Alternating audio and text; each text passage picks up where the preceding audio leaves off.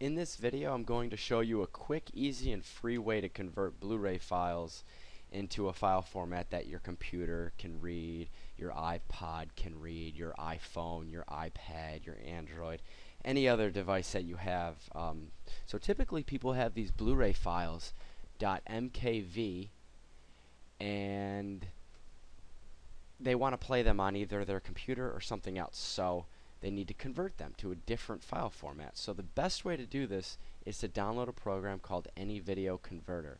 Once you download this program and install it, open it up, drag and drop your Blu-ray file into the program, and then select one of these output profiles on the right hand side.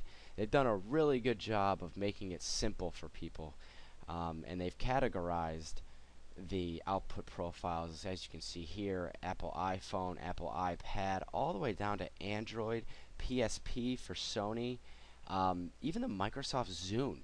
Didn't even know anybody really used that anymore, but it doesn't matter. It's really the file format that we're going after. So I'm going to select iPad 2 .mp4. Very easy. And all I need to do is hit this convert button.